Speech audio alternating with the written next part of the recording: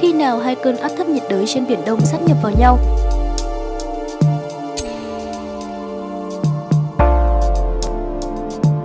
Chào các bạn, chào mừng các bạn đã quay trở lại với kênh youtube Tin tức Dân Trí Hiện nay trên Biển Đông đã có hai cơn áp thấp nhiệt đới đang hoạt động, trong đó một cơn đã vào đất liền nhưng lại có xu hướng trở lại ra biển. Theo dự đoán, vào ngày 5 tháng 9, hai cơn áp thấp nhiệt đới này sẽ sát nhập vào nhau và mạnh lên thành cơn bão số 5 liên quan đến hoạt động của hai cơn áp thấp nhiệt đới ở trên Biển Đông. Trong đó có một cơn đã đi vào đất liền nhưng lại có xu hướng quay ngược trở ra Biển Đông. Chiều nay ngày 3 tháng 9, phóng viên Dân trí đã có cuộc trao đổi với ông Nguyễn Văn Hưởng, trưởng phòng dự báo khí tượng, Trung tâm Dự báo Khí tượng Thủy văn Quốc gia. Ông Hưởng cho biết, sáng nay ngày 3 tháng 9, áp thấp nhiệt đới số 1 đã đổ bộ vào khu vực giữa tỉnh Quảng Trị và Thừa Thiên Huế, gây ra gió mạnh ở đảo Bạch Long Vĩ là cấp 7, giật mạnh cấp 9. Ở ven biển các tỉnh Hà Tĩnh đến Quảng Trị có gió mạnh cấp 6, giật cấp 7, cấp 8. Ở Hòn Ngư đã xảy ra gió mạnh giật cấp 10 trong cơn rông. Công tác dự báo đối với cơn áp thấp nhiệt đới này giữa các trung tâm thế giới rất giống nhau về cường độ. Nhật Bản, Bắc Kinh hiện đã phát báo một số cơn áp thấp này sẽ mạnh lên thành bão và có tên quốc tế được đặt là Karika. Còn Mỹ vẫn đang được cho là áp thấp nhiệt đới Chúng tôi đã có số liệu đo thực tế tại khu vực vùng xoáy nên xác định nó là áp thấp nhiệt đới. Đây chính là điều mà chúng tôi muốn gửi tới mọi người khi xem dự báo của Trung tâm Thế giới. Chúng tôi phải tin tưởng vào cơ quan dự báo chính thức và các cơ quan trung tâm khác mang tính tham khảo, ông Hưởng cho biết.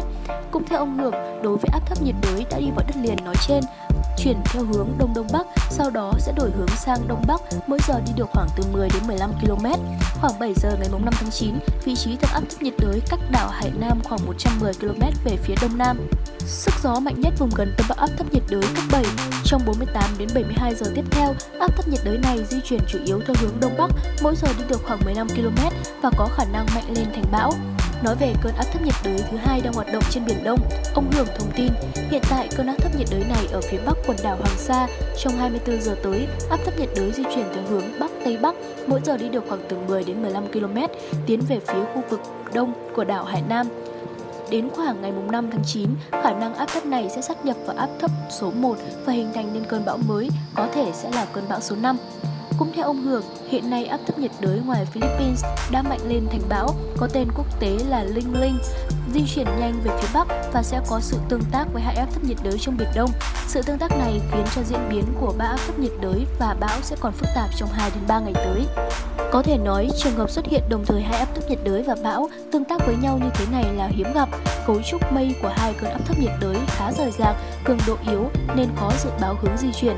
Đối với những cơn dạng này, có mô hình khí quyển chỉ có thể đưa ở dạng nhận định 24 giờ, còn sau 24 giờ phân tán nhiều, ông Hưởng nói. Từ phân tích trên, ông Hưởng nhận định khả năng ảnh hưởng và tác động của bão thấp nhiệt đới và bão trên biển và đất liền Việt Nam. Trên biển, do thời gian hoạt động trên vùng biển ngoài khơi các tỉnh từ Trung Bộ khá lâu, gió mạnh, sóng lớn kéo dài trên biển, gió mạnh cấp 6, giật cấp 8 ở vùng ven biển từ Nghệ An đến Quảng Ngãi. Do vậy, rất nguy hiểm cho tàu thuyền hoạt động trên biển. Đối với đất liền, ông Ngưỡng lưu ý hiện nay Trung tâm Dự báo Khí tượng Thủy văn Quốc gia đã đưa ra các dự báo xuất hiện đợt mưa lớn với tổng lượng mưa phổ biến từ 300 đến 500 mm. Trong đó, trọng tâm mưa rất lớn tại các khu vực tỉnh Hà Tĩnh, Quảng Bình, Quảng Trị và Thừa Thiên Huế. Lượng mưa trong cả đợt có thể lên tới trên 500 mm từ ngày 2 đến ngày 5 tháng 9. Khu vực thành phố Đà Nẵng, Quảng Nam, Quảng Ngãi có mưa phổ biến từ 200 đến 300 mm. Khu vực Tây Nguyên có mưa to đến rất to, 200 đến 300 mm trên một đợt. Và tại Nam Bộ có mưa vừa, có nơi mưa to đến rất to và kèm theo rông từ 100 đến 150 mm trên một đợt.